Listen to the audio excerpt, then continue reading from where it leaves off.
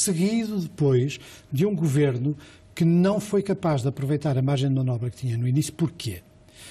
Em primeiro lugar, porque estava convencido que ia fazer uma revolução em Portugal. Isto era muito simples de fazer, a nossa economia era má, era expendable, não se reconheciam naquilo que era a economia das pequenas e médias empresas, tinham uma ideia mirífica sobre o que era o país, muita ignorância, e, portanto, quiseram fazer uma experiência social, de engenharia social, que deu torto.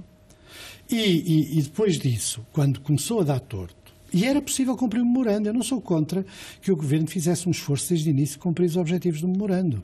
Era possível cumpri-lo com mais saber, mais cuidado e mais prudência, desde que, por exemplo, se considerasse que era preciso manter controle sobre o desemprego. Ele iria aumentar, mas controlado controle sobre o mercado interno, mas controlado. Quer dizer, diminuiria sem dúvida, mas controlado. Era possível. E porquê, isso, porquê mas, é que isso não se mas fez? Mas esses incidentes foram sempre ao governo surpresas. Não, foram sur... O desemprego é uma surpresa. Exatamente, foram surpresas. E agora o que é que se passa? Agora estas surpresas é aquilo que vos vai deitar abaixo essas surpresas, quer dizer, aquilo que eles eh, menosprezaram como danos colaterais é aquilo que vai impedir a sustentabilidade das políticas que eles próprios defenderam. Porque, quer dizer, não adianta, eh, em democracia, enquanto nós tivermos democracia, estas políticas não são sustentáveis como se vê.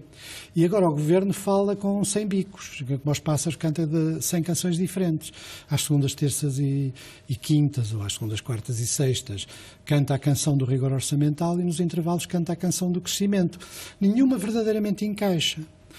Mas aquilo que o governo agora tem dificuldades, tem dificuldades para as opções que fez no início.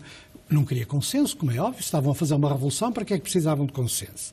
Não quiseram nunca alargar a base social do governo, para que estavam a fazer uma revolução, a mudar o país, a fazer um homem novo, uh, uh, empreendedor, que não era piegas, uh, que aproveitava as oportunidades do desemprego, queria subitamente saltar a economia. Agora não.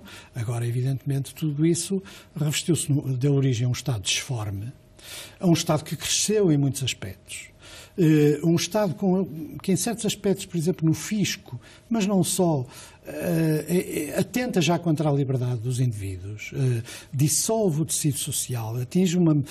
hoje vivemos com menos liberdades, até porque as pessoas têm menos dinheiro e, e quer se queira, quer não, o dinheiro faz a liberdade. E, e portanto, nós hoje estamos numa situação confusa, é por isso que as tentativas de ler a, ação governativa quando se tenta encontrar uma racionalidade. Primeiro, perceber, esta coisa agora que se diz, perceberam que a política anterior não resultava e agora que tem uma política de crescimento. Tretas. Não perceberam nada, falhou, que é outra coisa completamente diferente. Eh, e, e como falhou, e como não tem capacidade para resistir àquilo que são as pressões, agora mudam, mas mudam sem convicção.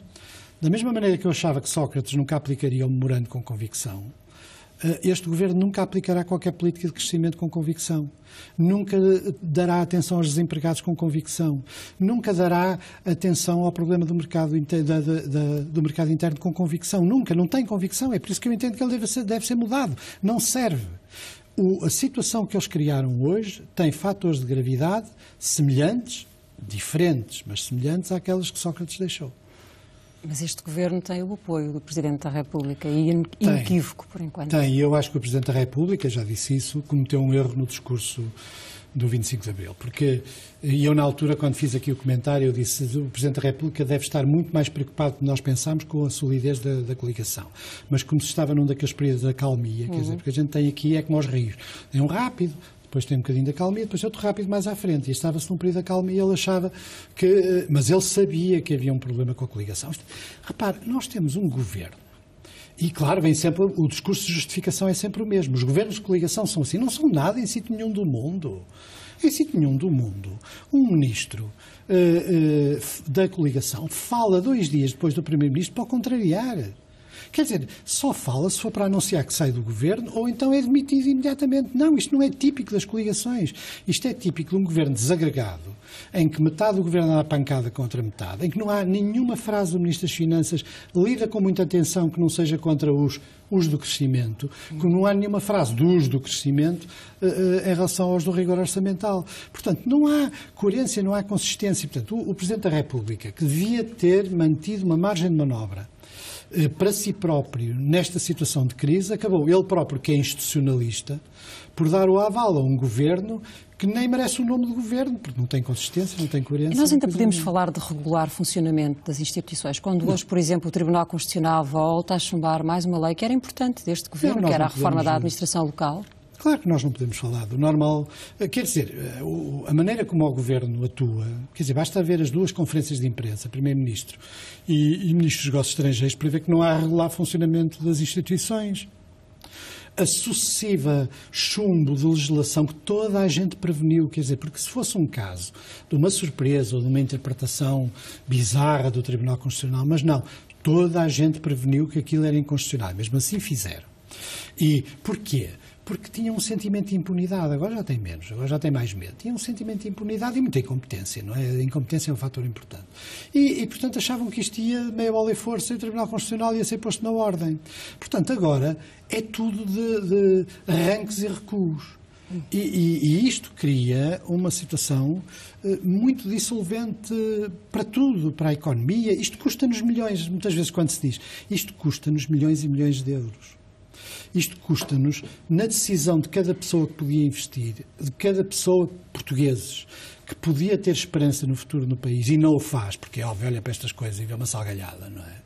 Uh, custa-nos muitos milhões. E depois a maneira como as pessoas são tratadas, a maneira como os funcionários públicos estão a ser tratados. Quer dizer, com uma situação que provavelmente será declarada inconstitucional também. Admito que sim, quer dizer, na primeira metade justificaram-se as medidas contra os funcionários públicos porque eles tinham o privilégio de não poder ser despedidos. Agora, pelos vistos, já podem ser despedidos. E depois a linguagem, sempre a enganar-nos com a linguagem.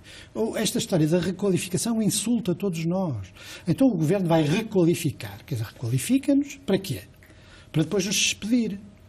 Quer dizer, não tem sentido nenhum. Quer dizer, requalificar é certamente para nos promover ou para nos colocar no tipo de funções, mas não, a mobilidade era outra treta. Quer dizer, eu utilizo muitas vezes esta palavra treta porque eu acho que isto nem sequer.